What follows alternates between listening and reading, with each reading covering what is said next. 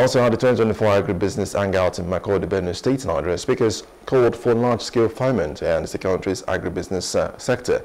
They also urged the governor to create the Benue State Agricultural Development Agency to capitalize on the state's potential. The event uh, also featured our panel's discussion to profile solutions for the business sector in the state. The event aims to inspire and equip attendees with the tools they need to transform existing profitable ventures, contributing significantly to the growth of Nigeria's economy. Attendees can look to the practical knowledge that we share today, and this will open doors for you. It would be nothing wrong to ask the governor of the state to consider setting up a Benue State Agricultural Development Agency.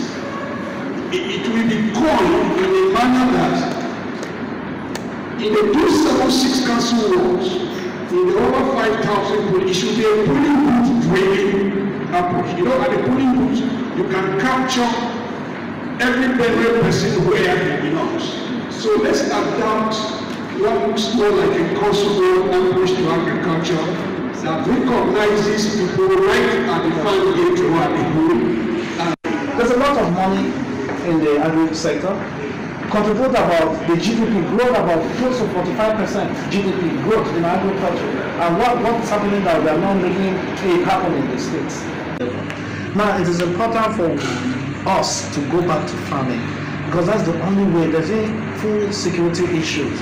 A population of 6.3 million people in Benue State, and we're not farming. We have about 4.7 million people on the streets looking for jobs. Most of them are graduates.